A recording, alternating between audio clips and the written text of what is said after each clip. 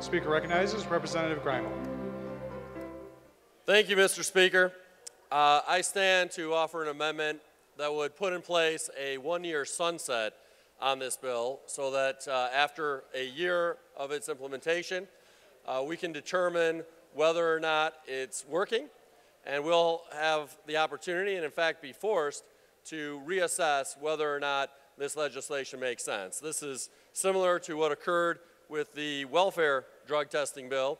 I think it makes good public policy sense to require the legislature to reassess after a year whether or not this new law is working. Thank you. Thank you, Leader Greimel. The question before the House is on the adoption of the amendment. The clerk will open the board. The amendment is adopted.